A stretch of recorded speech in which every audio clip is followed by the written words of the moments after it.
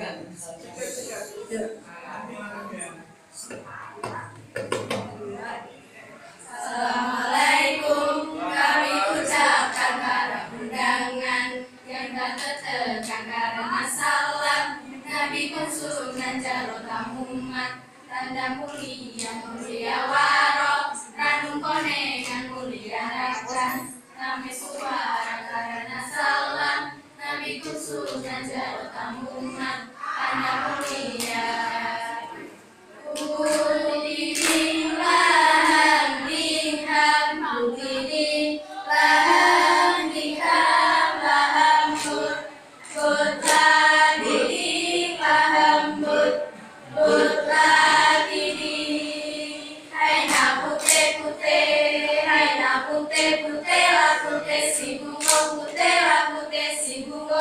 Amén.